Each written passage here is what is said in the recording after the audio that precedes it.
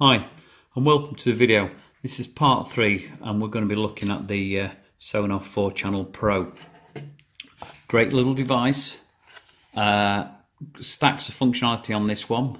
Not only is it a Wi-Fi driven device, so using it via our app or via IFTT, Alexa and Google, we can also use an RF input. So using this RF4 button key fob we can control the device.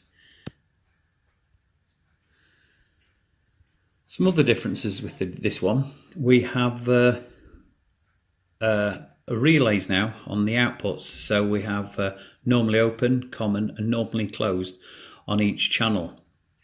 So great, again, adding extra functionality. We've got a set of contacts now rather than just a, a voltage output, an AC voltage output. Uh, superb what can we do?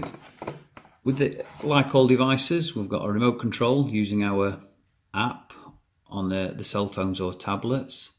We uh, timing function again, like like previous we've seen. We've got a self-locking mode. We've got an interlock mode and an inching mode. Uh, what we'll do is pause the video and we will take a look inside and go look further at this. So now we've got the cover off. So what have we got? Four channels, four relays, and uh, say with this one we've got normally open, common, normally closed. So adding a bit more functionality, having contacts here rather than just pure outputs. We can see we've got the DC line coming in, we've got the AC line coming in, and our buttons for programming. This not only does it program the the Wi-Fi, this uh, we can program each channel to run on the, the key fob. Uh, and when we fire up, we'll, we'll take a look at that. Uh, we've got the LEDs on this side, so the LEDs stating the state of the relay, but also we've got the LED at the bottom showing us the status of the Wi-Fi and the programming status.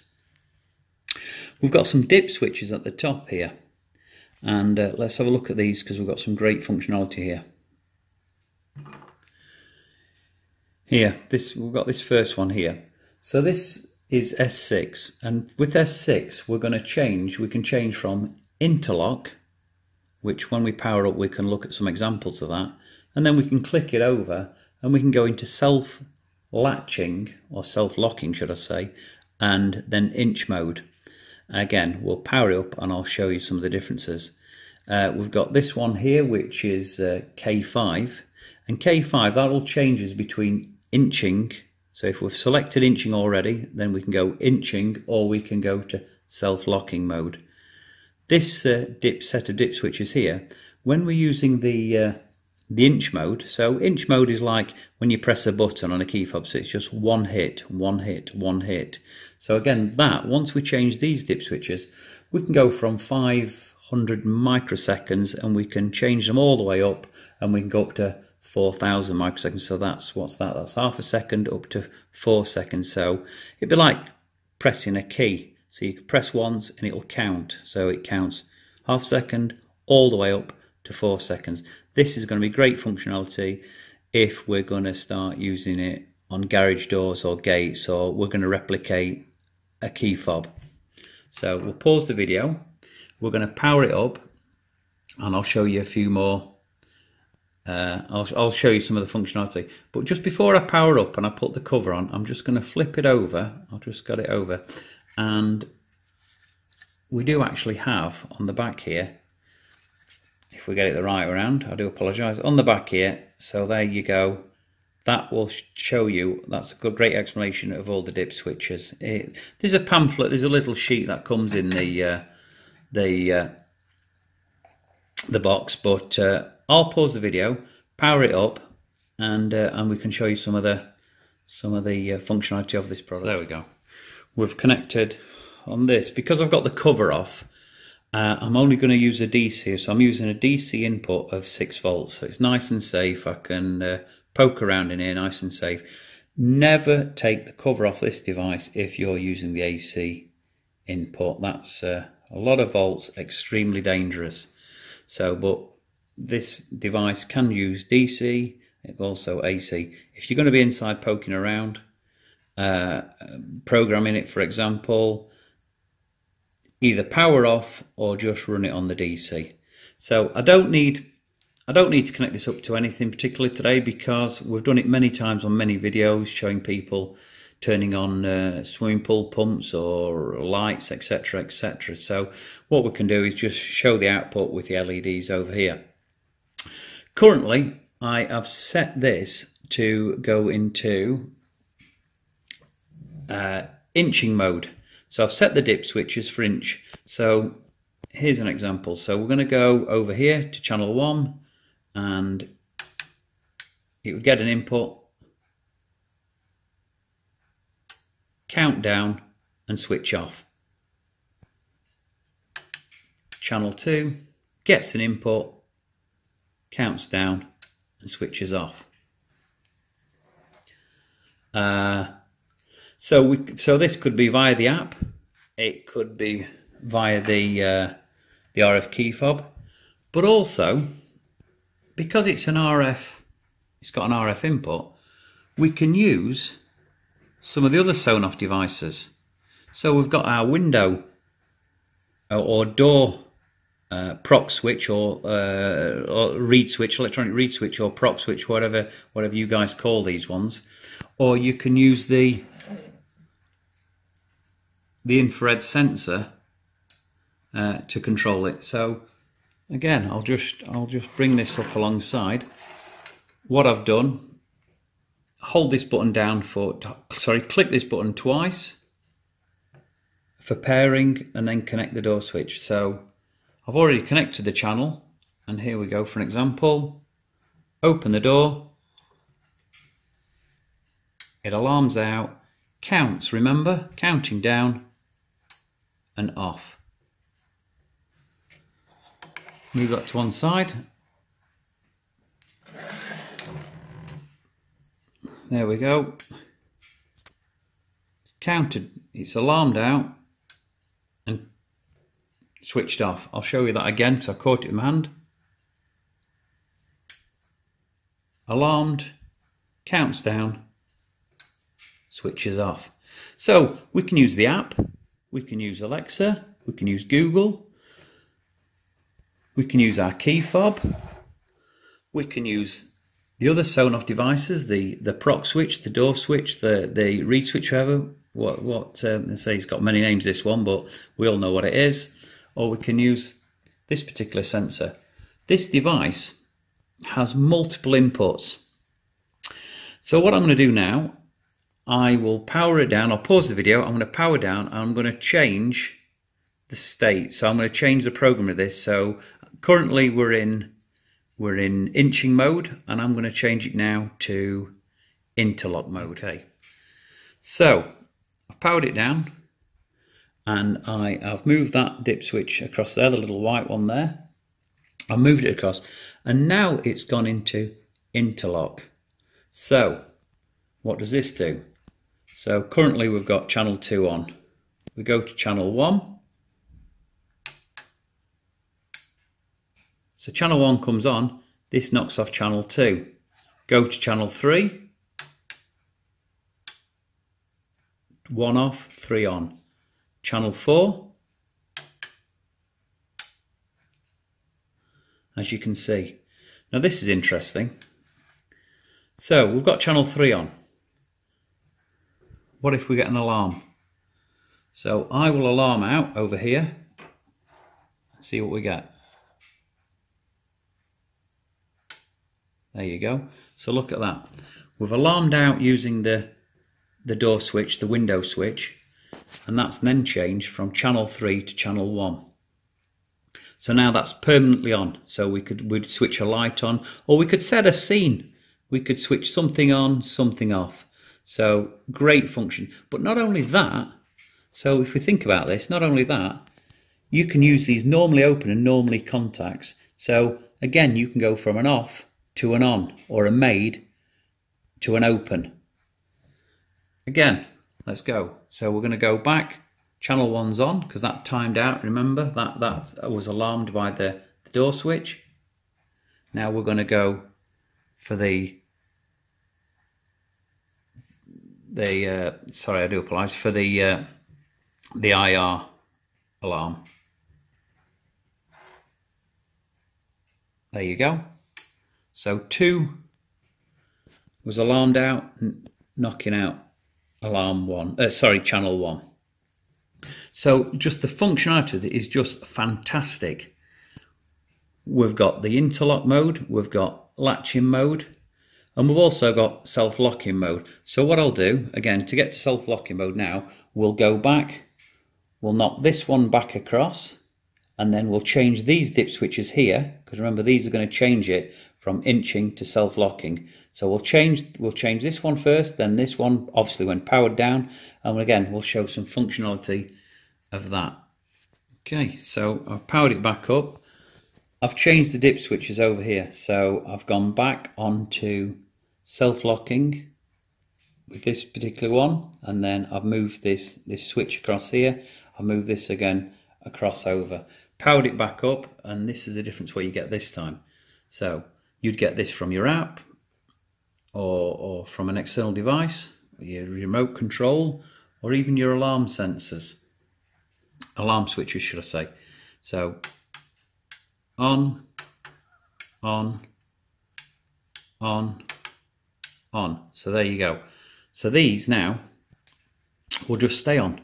So that's just typical uh, uh of uh, the, some of the previous Sonoff devices. And until you get an, uh, a signal again, they'll stay on. Uh, gets its alarm, stays on. Go for the other sensor, gets its alarm, stays on. And what we can do, because we've got four channels here, we're using channel 1 and 2 for these two devices, but I'll just show you how we can program 3 and 4. So 3, we're going to click it twice. 1, 2, and click, there you go, clicked A. And we'll go to channel 4, 1, 2. It's waiting for its signal. Got its signal B. So what have we got? Wi-Fi, app driven, Alexa driven, Google driven, IFTT driven, external devices driven, and also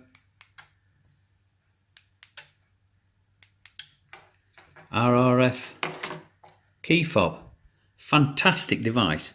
It's just endless what we can do with this device. This particular this particular device, I'm going to be connecting up in the next month. I'm going to be controlling uh, my garage door, and fingers crossed, I'll be also controlling the gates, the electric gates. So watch out for that video. And uh, going back to the, the garage door project or the electric gate project, so we can program this up using the Alexa app and uh, our eWeLink app. And so you could basically say, uh, changing, obviously we're going to change the dip switch again back, so it's, we want it to go back to inching mode. So this is going to act like a button. So it's going to be a button like you'd get on a key fob for a garage door. Alexa, turn on the garage door.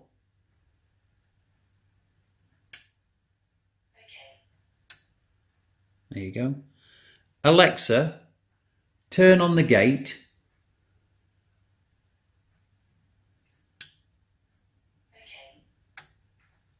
So there you go. So you can see the functionality there. So that's good. We can check again. We can change the time.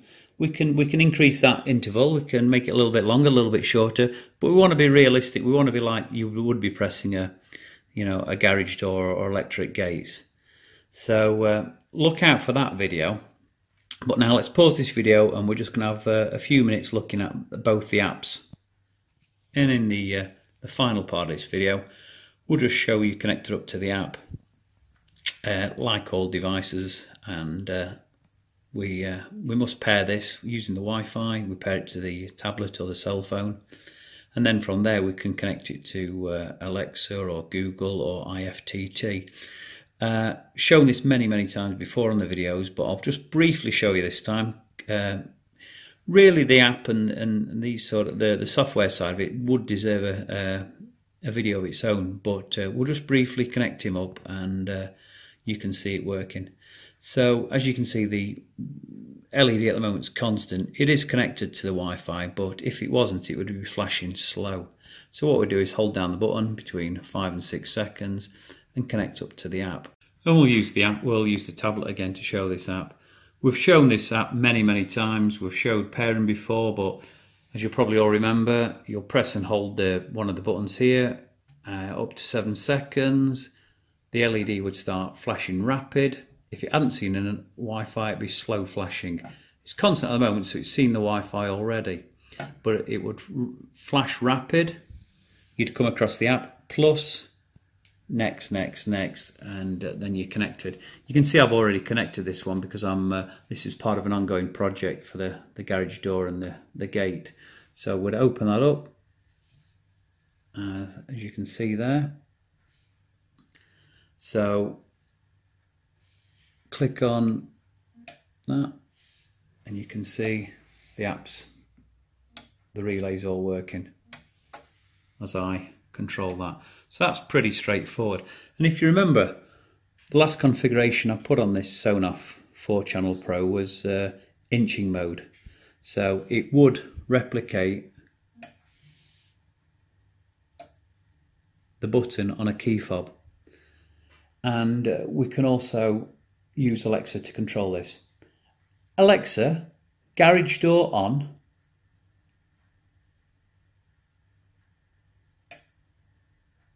Okay. There you go. And again, it's going to toggle like would replicate a uh, like would replicate a key. Like I say, at the risk of repeating myself, we really want to be doing a complete video just on this software. But what we'll do is quickly just briefly open uh, the Alexa app and uh, I'll just quickly show you that. We'll shut this one down. Close that. OK Google, open Alexa app. There is no incoming call. She always wants the button. So I've got the Alexa app open, go to home, smart home, you see him there, click on smart home. And there you go. So we've got all the devices. So as long as these two are paired, uh, eWeLink and uh, and Alexa, uh, it just all comes up in your app. And then once it's up in the app, then her over there, I won't mention her name, she'll be able to control all these. Find any enabled video skills. There you go. Go to the music video and books section of the Alexa. She does tend to interrupt. And then link your account and complete setup. I just wish somebody do a video on how to keep her quiet. Anyway, so there we go. I say we're, we're probably going to do a whole video on this because it, it, does deserve a whole video on setting up these if we've not done it before. But uh, Alexa, turn on the 4 channel Pro. Okay. There you go. So we can turn her on completely, or we can uh, we can we can do each individual channel. So there we go. Thank you very much for watching this video, and uh, please subscribe. And uh, for those who are subscribing, we're going to for the next two weeks. That's the last two weeks in March 2018. Uh, we'll be able to offer. I'll be able to get a link so we can get all these devices purchased and we can get a 10% discount. So that's the last two weeks in March 2018. We're going to, for all subscribers, be able to get a 10% discount. Thank you very much for watching.